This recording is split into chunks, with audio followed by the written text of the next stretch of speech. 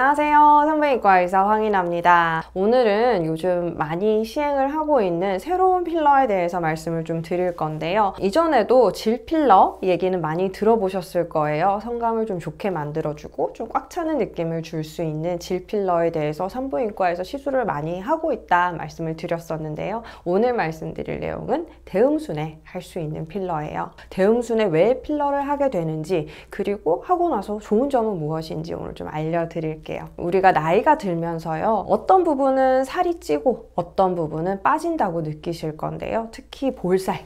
나이가 들면서 살이 빠지고 볼이 움푹 꺼진다는 분들이 있어요. 대음순 쪽도 좀 마찬가지예요. 어릴 때는 오히려 많아서 문제가 되는 그런 살이었는데 볼살도 너무 이제 빵빵하게 들어있으면 너무 좀 살이 쪄 보이기도 하고 너무 어려 보이기도 하고 그래서 볼살이 있는 분들 일부러 레이저 같은 거, 울세라 같은 거 맞아서 볼살 없애기도 하고 그러시잖아요. 어릴 때는 그런 거 이해가 되는데 저는 이제 장기적으로 봤을 때는 놔두는 게 좋지 않나 생각은 하는데요. 어쨌든 대음순 쪽도 마찬가지라서 우리가 어릴 때는 대음순 쪽이 너무 불룩하다든지 대음순이 아니고 치골 앞쪽으로 해서도 많이 튀어나오는 것 같은 느낌을 받으세요. 그쪽에 지방 침착이 많이 되는 부분들이 있는데요. 어릴 때는 그 사춘기를 지나면서 이 부분이 굉장히 두터워지는데요. 비키니를 입었을 때 레깅스 같은 거 이런 거 입었을 때 태가 안 난다고 싫어하시는 분들이 있어요. 그래서 지방 흡입 같은 것도 하시 거든요. 그런데 이런 부분들이 나중에 나이가 들게 되면요. 오히려 너무 살이 빠지고 어,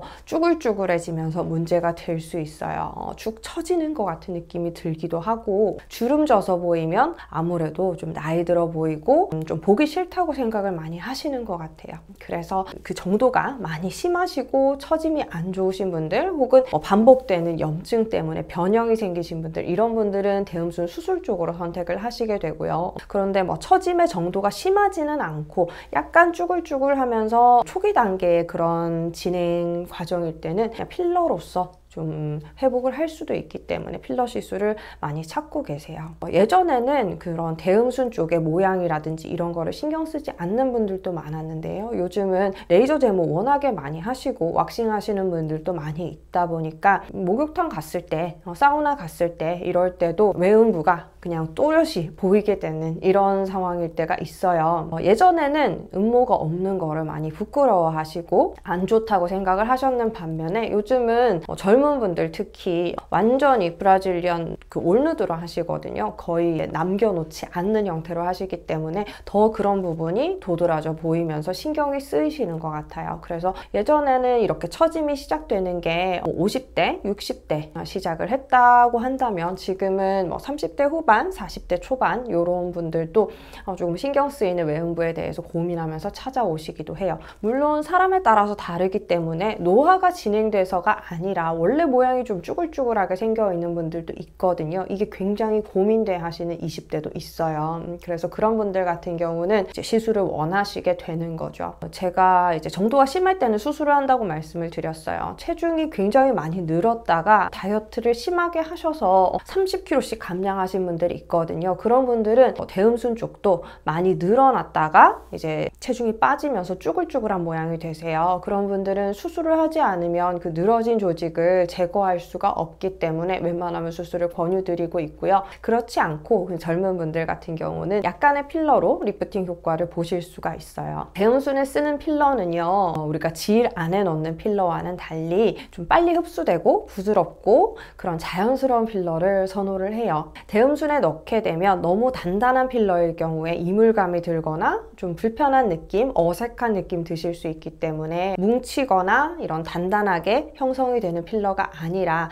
입술에 넣는 것 같은 그런 부드러운 필러, 좀 자연스러운 필러로 시술을 하고 있고요. 넣는 양은 그렇게 많이 넣지는 않아요. 저는 이제 대음순 양쪽에 각각 한쪽에 1cc씩 어, 그렇게 이제 시술을 가장 많이 하고요. 적게 넣는 경우는 0.5cc 넣는 경우도 있어요. 그냥 이제 주름을 살짝 펴주기만 하는 경우에는 뭐 용량을 많이 해서 시술할 필요가 없거든요. 그리고 너무 과한 교정이 됐을 때 간혹 지방 이식을 해서 오시는 분들이 있어요. 지방 이식을 해서 대음순 볼륨을 크게 만든 경우에는 좀 과하게 오버해서 교정을 해 오시는 경우들이 있거든요. 그럴 때 보면 정말 대음순이 너무 빵빵하게 너무 크게 보여서 어떻게 보면 이상해 보이는 정도로 그렇게 되기도 하기 때문에 필러는 오버한 교정이 되지 않고 오히려 좀 적게 넣었을 때는 이후에 좀 보충할 수도 있어요. 그렇기 때문에 가장 적은 용량으로 효과를 볼 수 있는 방법을 선택을 하고 있고요. 적게 넣어서 잘 펴지고 탄력이 좋아 보인다, 탱글탱글해 보인다 이러면 뭐 충분히 효과를 얻으시는 거기 때문에 과하게 넣지는 않고 있어요. 그런데 아까 말씀드렸다시피 이건 흡수되는 필러예요. 물로 분해돼서 흡수되는 성분이 히알루론산 필러를 주된 성분으로 쓰고 있고요. 그렇기 때문에 자연스러운 거 어, 흡수되면서 이후에 그냥 없어질 수 있는 거가 장점이겠죠. 그러면서 단점이기도 해요. 시간이 지나면 없어진다는 얘기잖아요. 그죠? 그래서 1년, 2년 정도 간격으로 리터치가 필요하실 수는 있어요. 그런데 입술도 그렇잖아요. 이게 없어지지 말라고 과교정을 해서 불룩하게 만들어 놓으면 어떻겠어요? 너무 어색하고 이상하잖아요. 특히 얼굴은 눈앞에 보이는 부분이다 보니까 그리고 일상생활 할 때 밥을 먹거나 이럴 때 계속 입술은 느껴지잖아요. 그러니까 이물감이 최대한 적게끔 하고 있잖아요. 그런 것처럼 대음순의 경우도 마찬가지예요. 관계를 가지거나 일상생활을 하는 데 있어서 이물감이 없고 자연스러운 게 굉장히 중요하거든요. 그리고 다른 부분 이랑 비교해 봤을 때 내가 팔다리나 이런 쪽이랑 비교를 해 봤을 때 대음순 쪽 쪽은요 굉장히 부드럽고요 피부 자체가 얇아요. 어, 다른 부분이랑 좀 다르거든요. 그러다 보니까 불룩불룩한 필러를 넣어둔다 했을 때는 이물감이 심할 수도 있고 이상한 모양으로 처질 수도 있어요. 그렇기 때문에 적은 양으로 교정하는 거 자연스럽게 교정하는 거 굉장히 중요하고요. 이렇게 했을 때 굉장히 좀 탱탱하고 젊어 보이면서도 처짐을 좀 방지할 수 있는 이런 시술이 될수 있을 것 같아요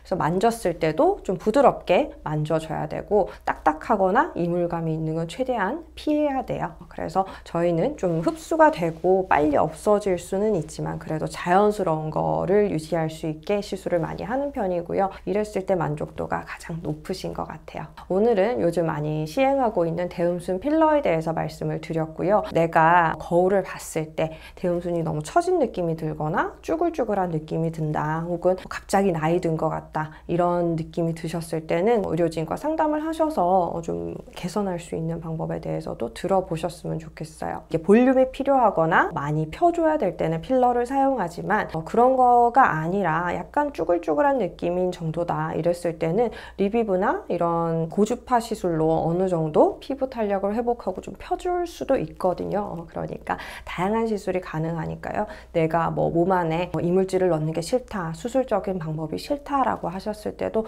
다른 옵션을 생각하실 수도 있어요. 그러니까 충분한 상담을 통해서 본인한테 가장 맞는 시술을 찾으실 수 있기를 바랄게요. 오늘도 영상 봐주셔서 감사합니다. 다음 시간에 또 뵐게요. 바이바이.